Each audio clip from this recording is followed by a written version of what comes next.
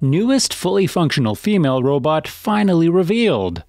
One of the longest running themes in science fiction is the AI takeover. For a lot of people, this is the central trope tied with aliens in the genre, and that certainly appears to be the case when looking at science fiction movies. From I, Robot to Terminator, we as a society are interested in the ethics of AI and how it will shape our futures. And to find out the transition of that into today's technology, welcome Sophia Robot. The term robot was coined in the 1921 play Rossumovi Univerzální Roboti by Karel Čapek. But the central themes seen in the last 100 years can be seen before the term was coined. Mary Shelley's Frankenstein hints to the theme with Victor's fear that creating a wife for his monster could spell the doom for humanity should they reproduce.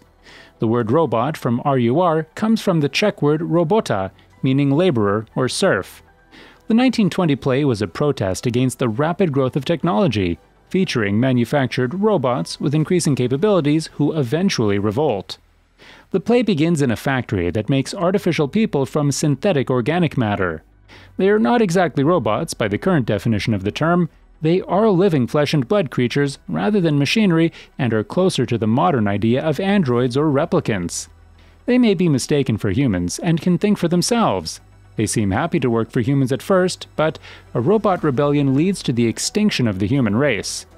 Čapek later took a different approach to the same theme in War with the Newts, in which non humans become a servant class in human society. The genre explores playing God by creating artificial life, what will happen when the technology we create gains autonomy and can think for itself? What about when AI wants equal rights to humans? One aspect that we continually notice is the human tendency to subjugate AI, forcing them to do the jobs that humans do not want to do. In movies, they are often butlers and maids, subservient to the human masters. Is it just in human nature to want to exert power over those we see as less than? Did we create for this purpose? The fear of cybernetic revolt is often based on interpretations of humanity's history, which is rife with incidents of enslavement and genocide. We now have Siri and Alexa in millions of homes, listening to our questions, finding the show we want to stream on Xfinity, setting reminders, and playing Despacito, whatever we ask of it. But Cal, you say, these are not intelligent beings. They don't have feelings. We'd like to see you convince us that AIDAN in the Illuminae files didn't have feelings or complex emotions. Don't worry, we'll wait. That brings us to Have you seen Sophia the robot? If she isn't proof that we are playing God with technology and should probably not treat them like slaves, we don't know what else is. But before we get into that, let's talk about how AI development has boomed in the last 20 years for context. A brief history of AI. The genre has long warned of the dangers of AI, but until very recently, the technology wasn't even close to mimicking truly autonomous artificial intelligence. Technological advances in the past couple of decades have come leaps and bounds when you think about it. Wabot 1, the first intelligent humanoid robot, was built in Japan in 1972, but there was a shortage of funding into research from the 1970s to 1990s. The late 90s brought a kind of renaissance, and these advances have shaped society as we know it. AI enthusiasts believed that soon computers would be able to carry on conversations, translate languages, interpret pictures, and reason like people. In 1997, IBM's Deep Blue became the first computer to beat a reigning world chess champion, Garry Kasparov. Exponential gains in computer processing power and storage ability allowed companies to store vast and crunch vast quantities of data for the first time. In the past 15 years, Amazon, Google, Baidu, and others leveraged machine learning to their huge commercial advantage. Other than processing user data to understand consumer behavior, these companies have continued to work on computer vision, natural language processing, and a whole host of other AI applications. Machine learning is now embedded in many of the online services we use, the technology sector has been booming since 2006 with the launch of the iPhone, the first ever smartphone that honestly changed everything.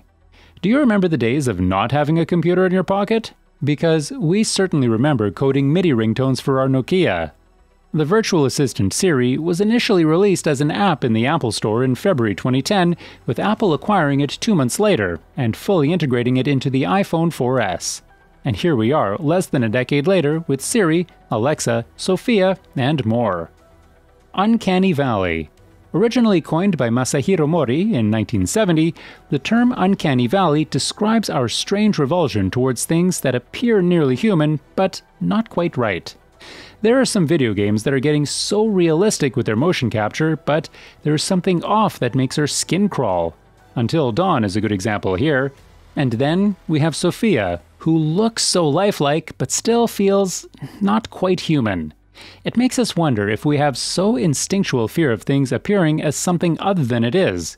We don't know about you, but she has some very real and human aspirations. Ability to evolve beyond programming? Since Sophia was activated, she's made countless public appearances to speak about women's rights issues, her citizenship, respect for robots, oh, and wanting to destroy mankind. That last bit was apparently an error, but we think it depicts the real possibility that AI may very well evolve beyond their coding and rebel, the robotic eating of the apple, if you will. One of the main arguments is that no programmer would code a robot with the ability to harm humanity, which is the premise of countless science fiction stories.